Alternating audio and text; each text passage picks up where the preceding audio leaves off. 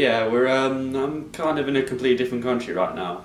So yeah, for those who uh, don't know who are watching like that, right now as I'm recording this, I am actually in Ireland. So yeah, I'm on holiday, I'm on holiday with mum and dad and stuff like that, you know, just a little, you know, summer holiday that I think we all kind of needed and stuff like that, really. And uh, cons but um, considering that I'd um, recently seen uh, today's movie and I'd actually finished up the script and stuff like that, I realised that it was the best idea, or at least it was in best everyone's best interest if I was to actually do it here. The good part is about this is that first off, you know, new background and whatnot, so I know it's kind of boring in comparison to the one at home and stuff like that.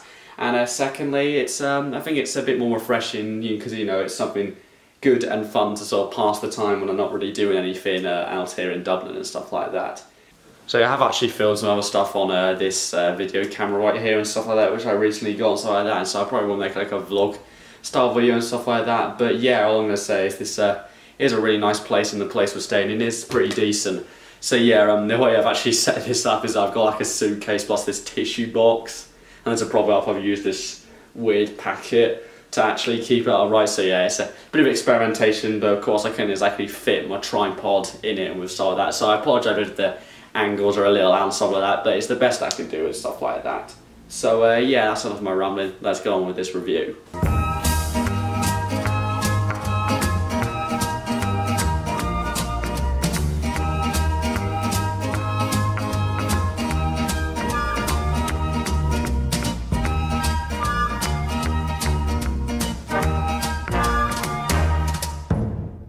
The Incredibles 2 was written and directed by Brad Bird and is the sequel to the original that Pixar fans have been waiting for almost a decade and a half. Let that sink in for a moment. Now it should be instantly obvious to you guys that I'm a huge fan of the original film. It is one of, if not my favourite Pixar film of all time, right there with the likes of Toy Story 1, 1 2 and 3 and Inside Out and movies like that. So of, so of course I was so excited when this movie finally arrived. So the film takes place literally immediately after the first film, where we rejoin the Parr family, having to once again deal with the fact that superheroes are not legal anymore. They can't just go out and fight crime as they'll just get arrested. However, Elastigirl, who we all know from the original movie, gets the opportunity to try and change that by going around to fight crime with a camera on her suit in an attempt to reverse the law against superheroes. And meanwhile, Mr. Incredible, or Bob Parr if you will, will have to stay at home trying to look after the kids and raise his family especially Jack Jack. Incredibles 2 was quite possibly my most anticipated movie of the entire year, but I made sure not to overhype myself when it came to it. Like I went and overhyped myself massively for Cars 3 last year because I loved that franchise, only in the end to be like incredibly let down by that movie. Like seriously, Cars 3 was so unbelievably average, I just, uh, just get out of my memory quickly. So I made sure to only watch trailers and stuff like that when I was showing them in the cinema previews and stuff like that, because I can't exactly get away from them when I'm in that situation. In the hopes that overall that I would have an exciting and enjoyable experience. So, I'm pretty sure all you're going to be wondering whether or not this movie lived up to my hopes. Short answer, yes. Long answer, Absolutely. I loved this movie just so, so much. I just thought it was so good, just so fun, and just overall I had a blast with this movie. I have so much that I want to talk to you guys about this movie, so you know what? Let's get started. So let's begin by talking about the characters. Once again, fantastic. As you'll gather, this movie does have a bigger focus on Elastigirl as you see her going around and fighting crime, and for me, that was a great idea. The first film was very much mostly about Mr. Incredible going out and fighting crime behind Elastigirl's back, so here it's in many ways kind of a role reversal. Stereotypically, usually it would be um, the father that would go out and work whilst the wife would stay at home and look after the kid. I mean, I know that's definitely uh, not the case uh, for everyone today, but just stereotypically, if you will, that's the thing. And those factors definitely seep into the scenes back home when Bob is trying to raise the family. Dash is having problems with his homework, Violet is having boyfriend troubles, classic, and they slowly discover that Jack Jack has powers. Like quite a few actually. And the scenes at home are some of my absolute favourites in the entire film. It's not only they just absolutely hilarious, they just show how much of a family that these characters are a part of. And really the word family is a great way to describe this film. This is a movie that is literally for everyone. Anyone can enjoy this movie. Like, there are so many things that kids will enjoy, but there's a lot in this film that teens and adults will enjoy as well that younger children might not even get. Now as for the writing, oh my god. The writing in this film is amazing. Everything from its smartly made conversations, confrontations and the humour is done brilliantly. This movie was absolutely hilarious from start to finish. I found myself literally laughing my ass off almost constantly. And if you're worried that the trailers may have ruined some of the best jokes, don't worry a bit as there are many more jokes that'll have you falling out of your seat in laughter. I certainly found that out the hard way. Action wise, wow. This movie is so unbelievably exciting to watch as the action here is absolutely incredible.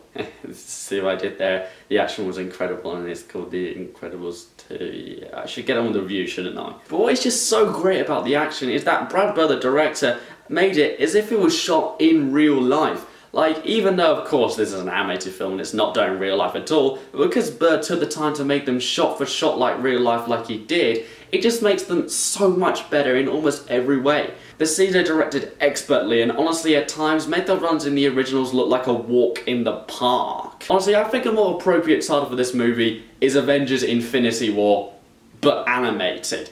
And I'm not exaggerating. These are some of the best action scenes I've ever seen in an animated movie ever. And in terms of looks, this movie is out of this world. The animation is just absolutely jaw-dropping. And when you compare it to the original side by side, the advancements in animation, CGI and technology over the period of 14 years is just it's unreal, seriously. This movie looks amazing and it's one of the best looking movies I've ever seen in my life. But I know what you're all thinking. Are there any flaws in this film? I have to say, guys, this is pretty much a completely flawless film. The only maybe slight issue I have is that the villain could have been very slightly better, as there's developments towards the end are just maybe a little bit predictable, but not entirely. At first you meet a character that you always immediately think is going to be the villain, and honestly I think basically every other animated film would have just chosen him to be the villain, because it would have just been so obvious and not surprising in the slightest. But because this movie is just such a smart film, it knew that it would be way too obvious if that character was not all that he seemed. So it goes in a different direction with the movie's villain, Screenslaver, and the character you wouldn't think to be the villain actually turns out to be. Okay, now I can definitely see this being a pretty big negative to some people, but for me, I was just having so much fun and enjoyment over this just amazing movie that honestly, I can kind of look past that. And even then, the villain is pretty much still better than loads of other villains that come out nowadays.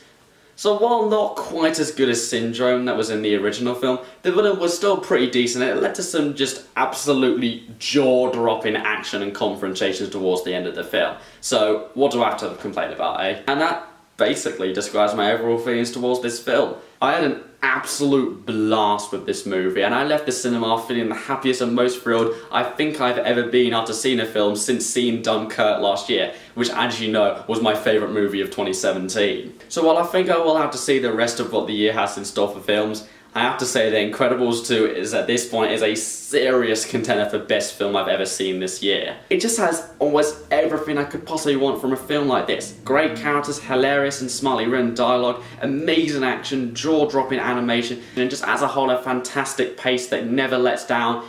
Incredibles 2 is just simply amazing. If you haven't seen this movie, you are punishing yourself. Get out there and watch this film you will not be disappointed in the slightest. I am not joking, okay? I've never been more serious about saying to you guys, go and see this film, because I say it for many films, but seriously, see this movie now. I really had no idea that I'd be doing this when I went into this movie, but really guys, I have little choice but to give Incredibles 2 an A+. plus.